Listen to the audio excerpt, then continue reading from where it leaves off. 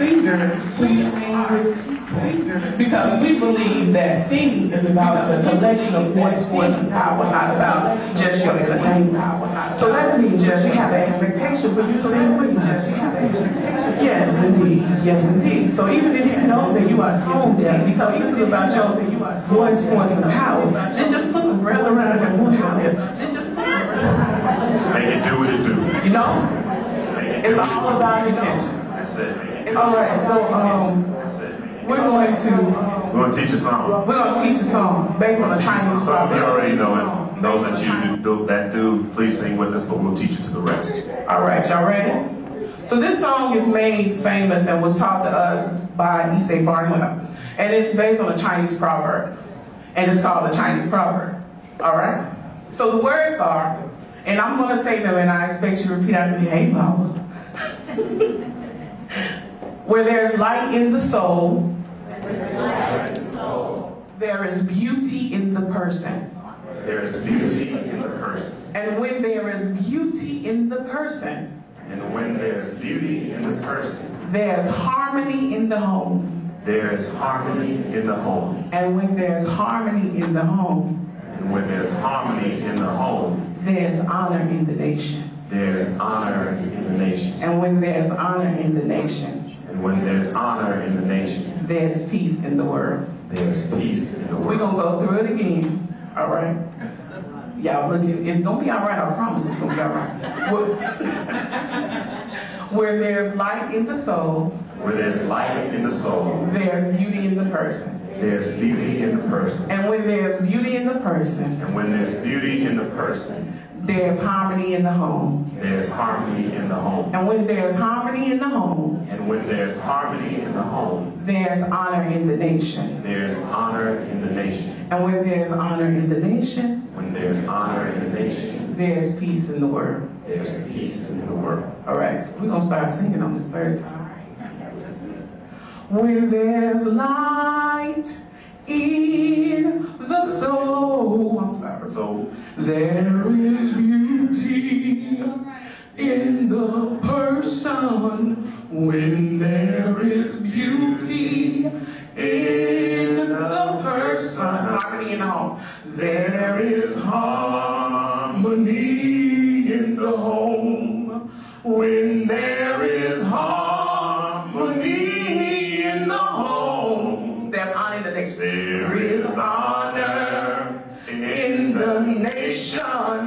when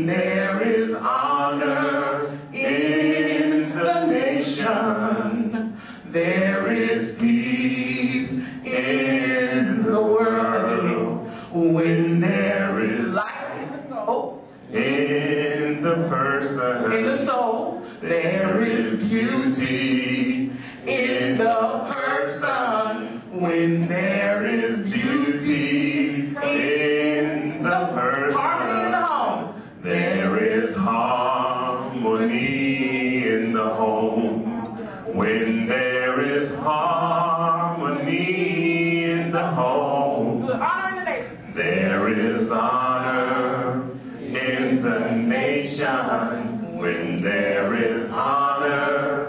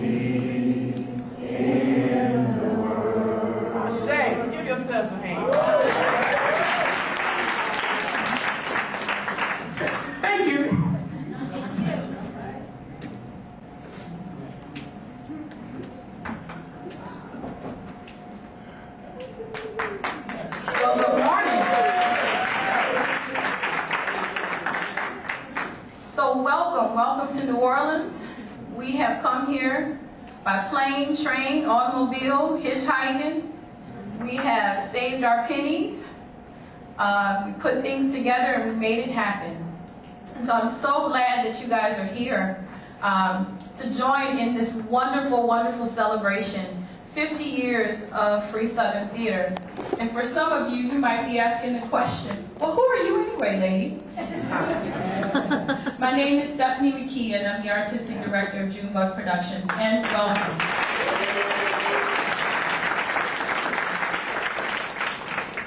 So, when I took on the planning of this convening, um, I received an email from Leslie Allen. She's the daughter of Sarah Allen, who is a former FST member. Leslie told me that she had some FST memorabilia and she wanted to send it as we were preparing for this convening and the celebration. It's funny because that package came just at a time when I was starting to get frustrated with the lack of resources and time and then I found that package sitting on my desk when I walked in. And inside I found invitations, programs, notes, planning documents dating all the way back to 1969. I would also find a letter from Mr. John O'Neal, um, dated, it was sent to Sarah Allen for the FST funeral back in 1985. And as I read that letter, it felt like it had been sealed in a time capsule and had arrived on that day and said, don't open until this day. And inside that letter, John would say that the sign of the times clearly indicated that another movement, much like that of the 60s, is inevitable. That movement will need its own expression from art and culture those who set out to do work in that movement will need to know what we tried to do and how we fared. They will need to know about our failures as well as our successes. That knowledge will help them to be more effective in the work that they set for themselves. It is our job to make sure that the information is there for them to find and that enough people know how to tell them where to look in order to find it. It's like my mother used to tell me, the cook is not finished until the dishes are clean. And indeed, we have more work to do. It's in this spirit that we gather to examine an extraordinary chapter by the founders and alumni of Free Southern Theater. We also hope to look at another chapter filled with a younger generation of artists, of cultural workers, of organizers that have been impacted by the work of Free Southern Theater. I think I speak for everyone when I say to you, Free Southern Theater alum, that you have added to our works and to our lives. Thank you so much for being here.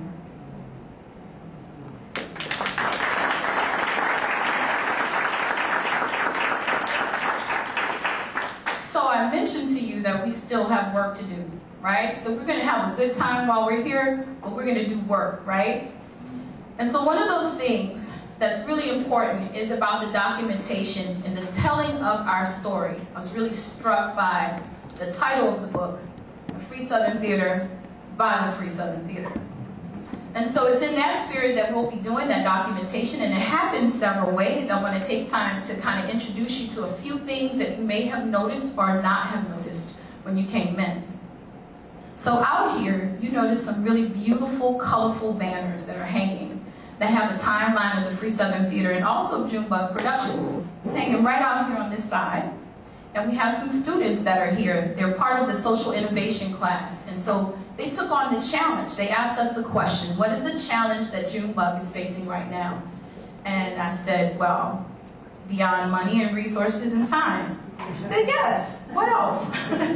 so I told them one of the things was we were planning this convening. We wanted to look at documentation, but we wanted something that wasn't stale. We wanted something that was fully participatory. And this is what the students created, this interactive sort of timeline. So they will find you and they will ask, they will say, hey, can you come and take a picture? You get a picture to keep with yourself and a picture to pin right up on this timeline about where you intersected and tell your story about how you intersected. So we want you to do that at your leisure. You will see this here, and you will also see it at the Ashe Cultural Arts Center up on the wall. So have a good time with it. Remember your stories. It's going to make you remember things that happened, right? But 50 years ago, it wasn't exactly yesterday, right? So there's another group of people that came. Um, they are, where am I? This is my documentation team. Can I have you come out? They're behind some places. Can you raise your hand? My documentation team right here. So we have Mr. Chennis Pettigrew. We have Jason Foster. We have Ethan Johnson. And we have Lizzie Cooper Davis. And then we have Melissa Cardona. This happens in a couple of ways. They will be, yes, documenting the entire thing. It is also being live streamed for today and on Sunday. And then they also may pull your coattail and ask to do an interview. And so they're going to have a little interview station over there. If they pull your coattail and ask you to come, if you feel like it, then we would love for you to share your story and your time with us. And then beyond that, Ms. Melissa Cardona will be taking some wonderful photographs. Wanted you to put a face to the name so that you knew all the different ways that this is happening. And of course, if anybody is against that, then please let us know. And of course, we'll honor what it is that you're feeling at that time. Are we good with that? Yes. Yes? So we got one more thing to show you. Inside your packet, you will notice beyond all of the stuff that's happening in New Orleans, because this weekend in New Orleans, let me just share with you, is like the perfect storm of events all happening this particular weekend. So we've just taken the ability to just, we took that opportunity to share with you some of the things that are happening in and around the place. Um, there is a form, it's an intake form that's there that has some questions um, for you. We would like for you to fill that out. This is a way for us to kind of, for you to share your story in a different way. Um, it has a list of questions, they're very brief questions. If you would be so kind as to fill that out. And I see already, Lizzie, can you hold that up? Someone was a wonderful person and filled it out already and turned it in. So let's just follow that model, if you will. Just fill that out, and Lizzie Cooper Davis is the person that you want to hand that to. Okay, if you have any questions, we have our interns that are out here. Matter of fact, if I get somebody to knock on that door really quickly and have them come in, I want you to know that this weekend was really done and put together by a tremendous amount of volunteer support. I gotta put an emphasis on that, volunteer support. And my two interns right here been rock stars through that. So I just want to take time to acknowledge and to thank you so much for sharing your time and your energy. Thank you. So with that, I would love to bring to the stage my friend, my colleague, Ms. Tufara Waller Muhammad.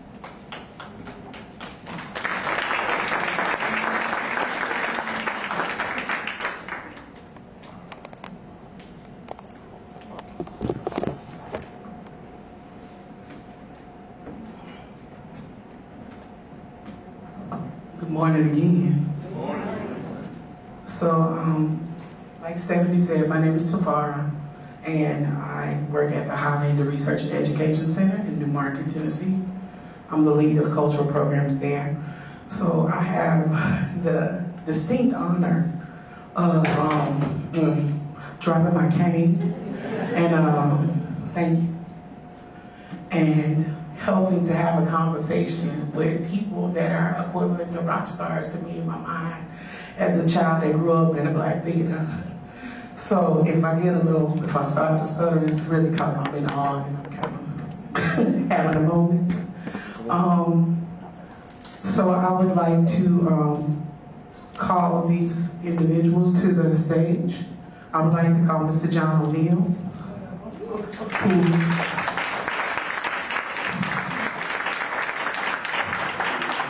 first met John O'Neal, I was about five years old. And um, he doesn't remember, but he came to my home community and did a, a storytelling workshop with the kids in my neighborhood. And recently, Mr. Um, Mr. John uh, came up to me and he said, uh, "Yeah, you're from Little Rock. I know a man named Bill Robinson from Little Rock. Do you know him?" I said, "That's my papa." So this is Mr. John O'Neal, one of the founders of the um, Free Southern Theater. The next person that I would like to call to the stage is Dr. Doris Derby.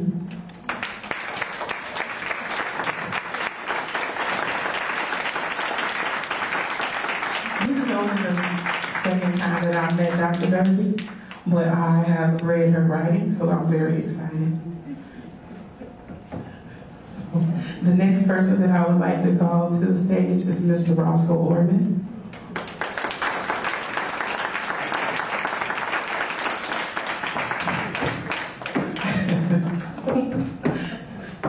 and the next person is Dr. Jerry Ward.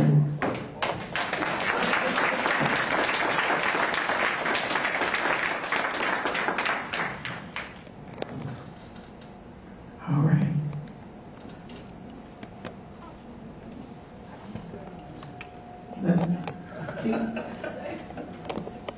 So what's going to happen is we're going to uh, have a, a conversation. This is less of a like moderator panel and more of a conversation with our elders. Is that all right? Because we're going to have to pass this microphone. So give that to microphone.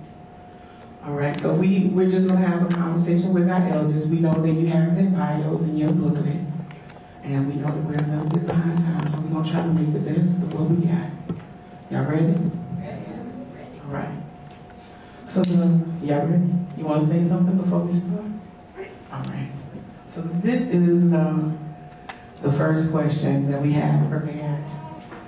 Why did the Free Southern Theater arise at Tougaloo? What happened? It was her fault. Talk about it. It was her fault. About three o'clock one morning in Jackson. Doris and I were working together at, um, the, the, the, the, uh, the adult literacy project. We would, our, our charge was to write a book that people who, adults who did not know how to read could read when they got through reading it. we kind of failed at that job. but we had a good time trying it together. And um, we were, uh, Gilbert Moses, rest his soul, uh, and I had fallen into a friendship of a strange nature. we fought all the time on virtually everything. but it was a friendship. and uh, one night we were sitting at the apartment we shared on, um, what, what street was that? the, the Maple Street. It was the Maple Street apartment, yeah. And uh, uh, we would have, we invited Doris over for dinner. Doris, uh, we knew to be uh, a visual artist at the time. And uh, we've been talking about theater because we felt like theater was uh, the art form that included everything, all the arts. And so we thought it would be a good place to hang a whole bunch of hats. and uh, about three o'clock in the morning, we've been talking about theater. And Doris said, well, she has amazing capacity to sum up stuff. If theater means anything, anywhere, it should certainly mean something here. Why don't we start a theater? Silence fell into the room. Gilbert did this all the time when he was sitting down. and I did too. so we were sitting there shaking, the shaking stopped. We looked at each other. We ended up looking at Doris. Uh, there was no answer but to say, I guess you're right. So, Papa, can Dr. Derby talk a little bit about um, the initial vision around the, the theater? Well, I'm from New York, and I was very active in theater circles in terms of going to all the off-Broadway black theaters, uh, performances, and very much involved with uh, uh, black artists.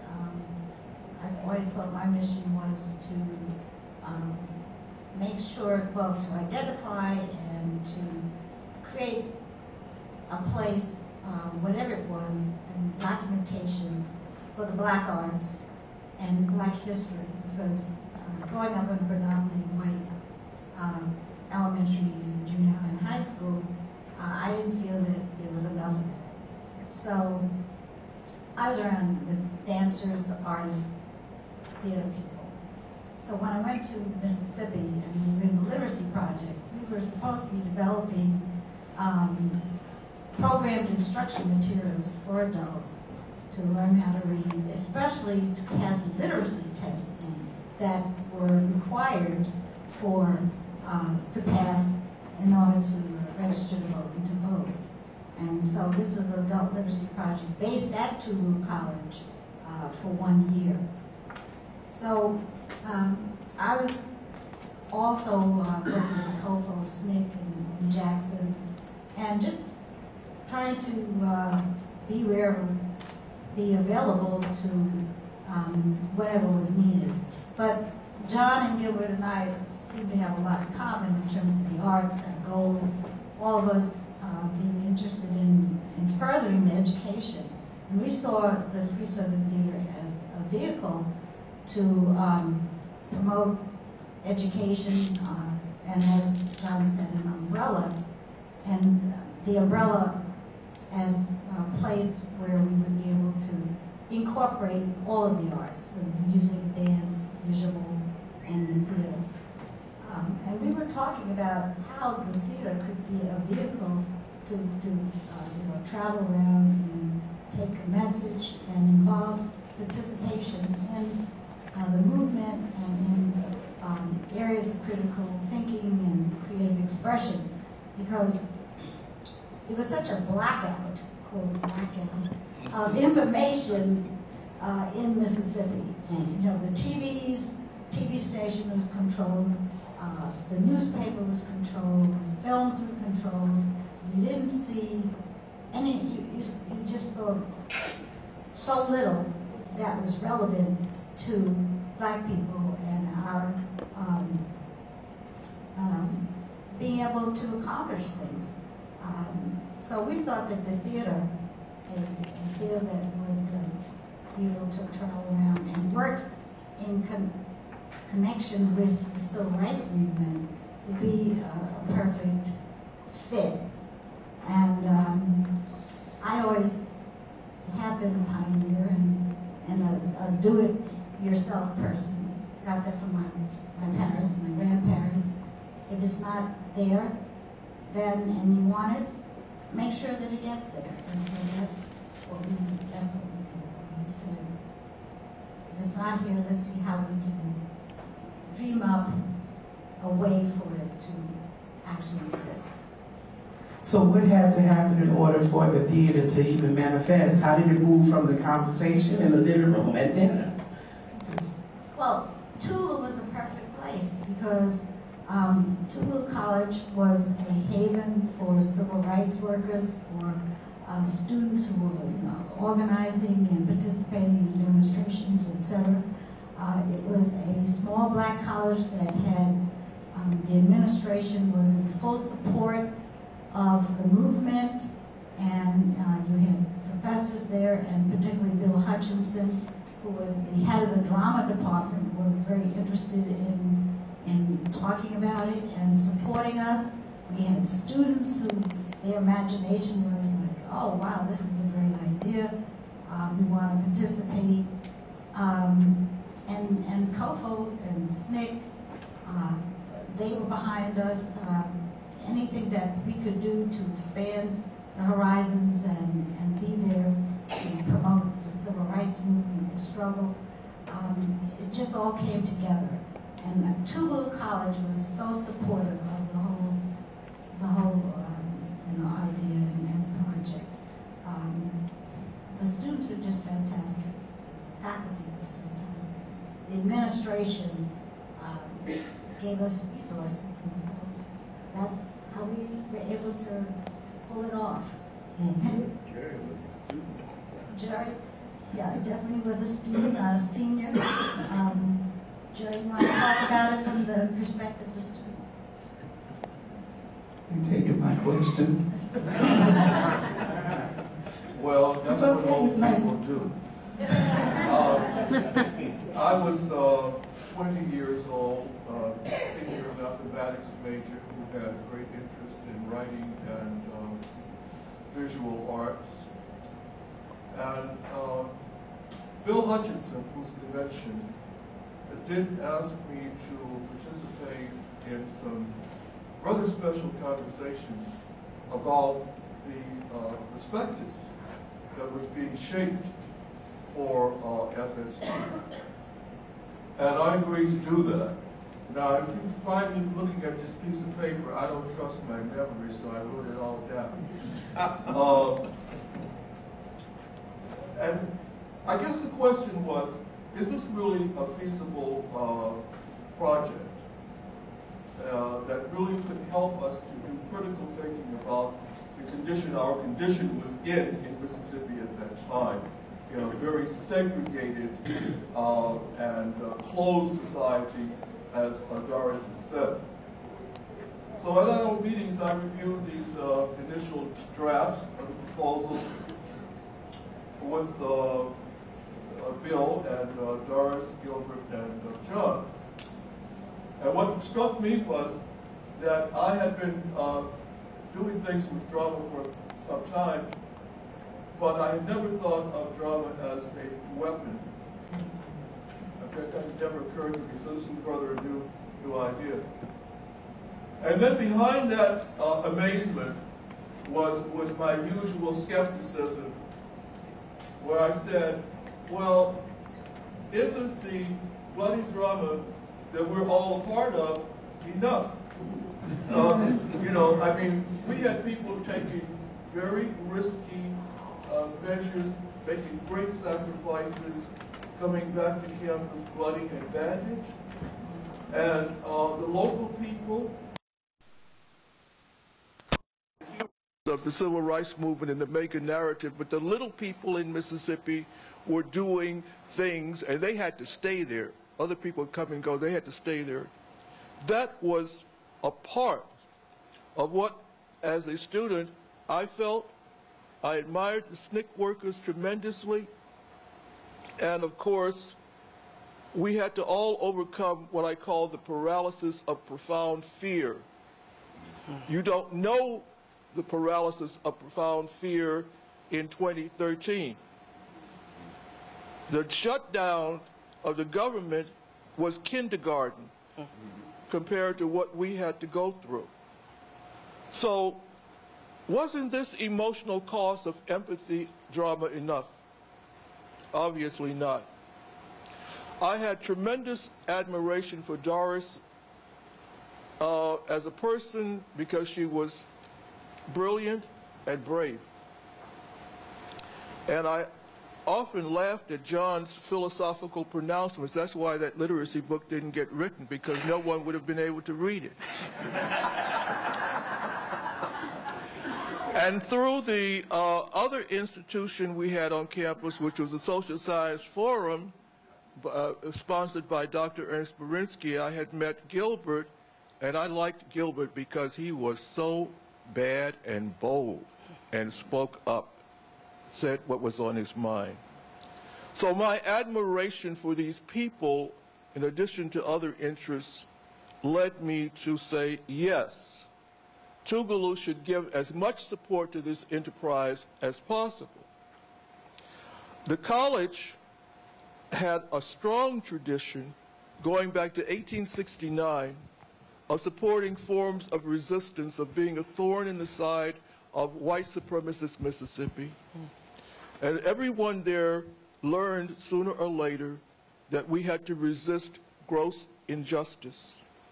It was the right space then for developing and implementing theater or drama as a form of education about social evils, state-supported terrorism, and I'm going to come back to that at some point, state-supported terrorism.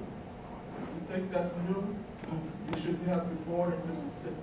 Mm-hmm. And our entitlement that what had a Berlin Wall between us and them, our entitlement to constitutional rights. Our nation has been, since it came and disturbed indigenous peoples, a nation of hypocrites.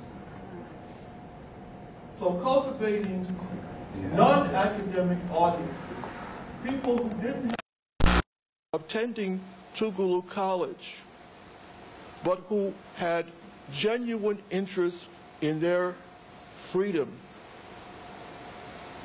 To bring theater to them was very, very important.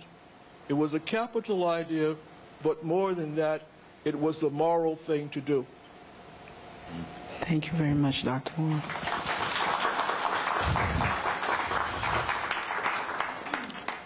I would like to di- um, direct this uh, question first to Mr. Orman. What kinds of conversation about culture and the civil rights movement arose as a result of the work of the Free Southern Theater, do you think? Did that make sense? Let me read again. What kind of conversations about culture and the civil rights movement arose as a result of the Free Southern Theater's work? And anybody can answer. Well, um, the Free Southern Theater, uh, I became uh, introduced to or aware of um, as a young 21-year-old acting professional in New York City. I was actually um, performing in a production with um, the um, renowned um, activist uh, theater um, creator and songwriter Oscar Brown Jr., uh, who was one of my mentors, friends, and um, advisors and, and, and colleagues. I was actually on stage with him in New York uh, at the Gramercy Arts Theater doing a production called The Worlds of Oscar Brown Jr. when he came into the dressing room one day with a, with a, a, a Village Voice article about this troupe of theater activists who were touring plays, revolutionary plays about the issues of the civil rights movement throughout the Deep South in Mississippi and Louisiana, Georgia, Tennessee. And he brought that to my attention because, in his mind, that's where I needed to be. That's what he said. He said, Roscoe, this is where you need to be. And after reading the article, I agreed with him. I said, wow. Because by then, you know, I had um, um, been somewhat involved in not just following the movement, but I was, a, I was at the March on Washington, uh, you know, and was a part of that whole feeling of you know, uh, change that was happening in this country. So I set up uh, uh, an appointment with one of the founders of the Free Southern Theater who was visiting New York at the time, Mr. John O'Neal. Yes. And in the course of that meeting, through John's um, indescribable philosophical musings, I was completely sold on the idea of what an incredible, life-changing experience this would be for me. And also what, what, a, what an important contribution I would be making if I could bring my gifts and talents to this company. And uh, he convinced me of that, uh, you know, on one meeting. So uh, within a few months, I was on a plane heading south. And um, uh, I, I will mention that uh, one really uh, amazingly serendipitous occurrence uh, during my trip was we were changing planes in Atlanta. And uh, while waiting at the gate for my connecting flight to New Orleans, which is where the theater had moved by then, I noticed a commotion of, you know, some rumblings, and, and I saw this group of maybe five or six black men coming towards the, the gate, and this was a, a time and a place where there were very few of us blacks in the airports traveling and flying around the country. And I was actually the only one until I saw this group coming, and there was a commotion among all these, these um, white passengers who were obviously alarmed by the fact that one of those men was Martin Luther King Jr. himself, who came to the gate, and upon seeing me, he came right to me with his hand extended. Now, you can imagine the, uh, the shock and delight and amazement to, to know that Dr. King himself was, was giving me this benediction to come south. He, he, he came and, and, and uh, shook my hand and, and in the most magnanimous way was embracing the fact that I was um, heading, you know, to this troupe of young performers. And uh, uh, I kind of saw it as a, as a real benediction and, a, and, a, and, and an encouragement for what was to come. Um, of course, the other passengers there were in total shock and uh, consternation that this this um, this man who mo most of us today don't realize the fact that the majority of white America did not believe in Dr. King's dream at that time. There was this, he was truly a revolutionary figure at that time in history. But for those of us who had become among his followers, he was um, a tremendous force. Um, so um, that's that's uh, the story of how I got here to New Orleans and beca became a member of the early uh, incarnation of the Free Southern Theater. Would you like to also address some of the, the same question, Dr. Derby? I know. You want me to restate the question? You good? Um, the question was about conversation. uh, Yes, ma'am. Well, we certainly had a lot of conversations about how we were going to support the theater uh, financially.